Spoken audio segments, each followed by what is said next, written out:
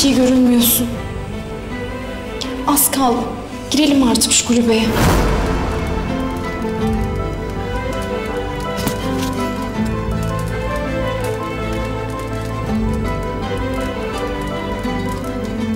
Ateşin çok yüksek.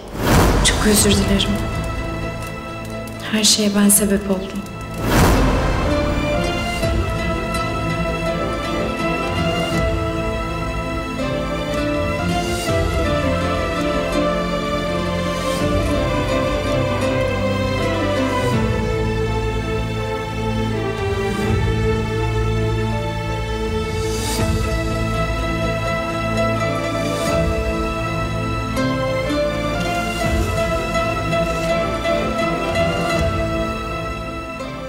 Hay Allah. Uyuyakalmışım.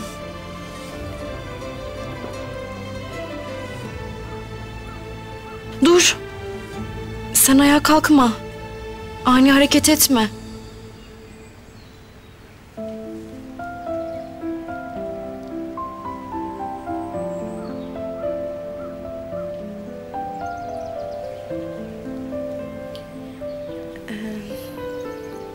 Ben ilaçları ararken bulduğum malzemelerle bir çorba falan yapayım. Sıcak sıcak iyi olur, iyi gelir.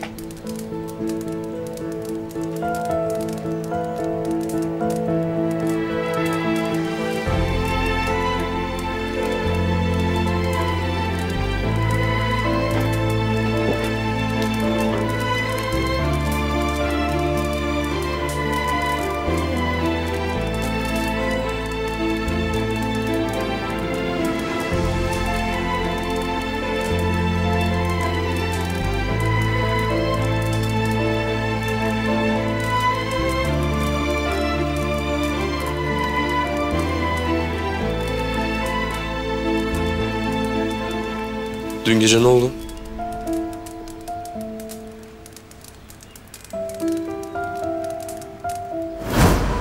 Dur.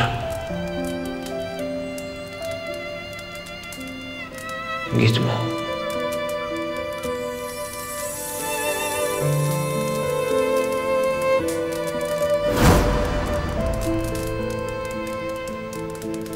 Kötülemiştin.